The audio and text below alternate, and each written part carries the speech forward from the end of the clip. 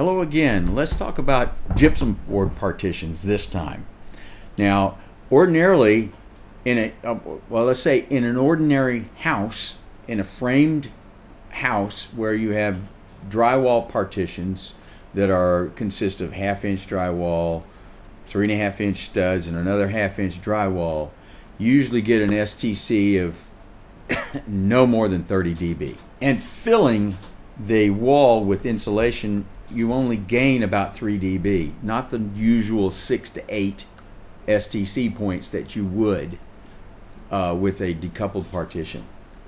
So um, this is this is important to know. A normal normal home partition with half inch drywall, or that's 12 millimeter, uh, is going to have a resonance around 70 70 hertz, and so at that frequency and below, sound waves will just pass right through. So if you need isolation in your home or in your in your business wherever if you're located in a uh, a business area where you have a commercial building you're going to have commercial neighbors and they're possibly going to be making noises or they're they're going to want it quiet so you got to work it out to where your sound as I discussed in the first video where your sound doesn't interfere with them and they don't interfere with you you have to figure out what the lowest level of, of isolation you can possibly get. I mean, the lowest frequency of isolation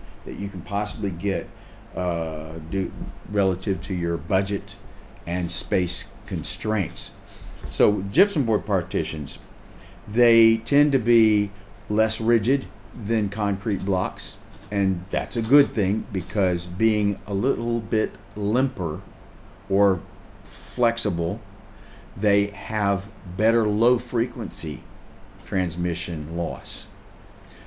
So, for that reason, when I do a stud wall, I, if at all possible, I'll at least make the interior partition the in on 24 inch uh, stud spacing. That's 61 centimeter stud spacing. This increases or or let's say lowers the coincident dip in the frequency response makes it go lower or the or in the pass band.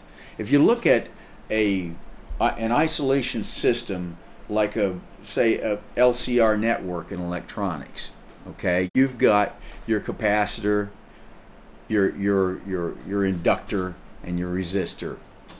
Okay? Your your drywall partitions are acting as resonators and they have their own frequency depending on what's they're coupled to. Like you put a capacitor and a resistor, and that that creates a knee network, and it has a pass band. If you put the capacitor to ground and the resistor in series, it passes high. Uh, uh, excuse me, it passes low frequency.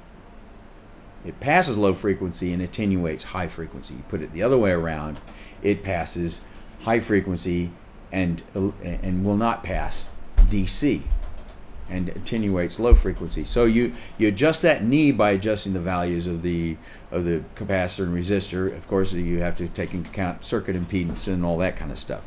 In a wall system, you have resonances similar to your capacitor, and your your air gap is like your resistor, or it could be the other way around. Your resistance is your mass, and your your your wall your distance is is the is the spring or the capacitance okay?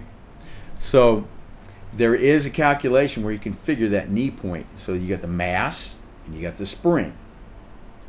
So as i said in the in my previous video the ideally you can get down to a, a good 20 hertz I, I think 17 hertz using three layers of gypsum board and a 10 inch airspace. Often in our builds we'll use uh, uh, 2x6 lumber on the interior partition and the same on the exterior partition. And that ends up giving us what five and a half five and a half is 11 plus two that's 13 inches of air gap. That's a lot better. We try to get it down to at least 14.1 hertz and that covers the full audio spectrum one thing that's in our favor when we're talking about low frequency isolation is that human hearing is not as good at low frequency as the as it is at say one one to three kilohertz, which we are very sensitive in that range.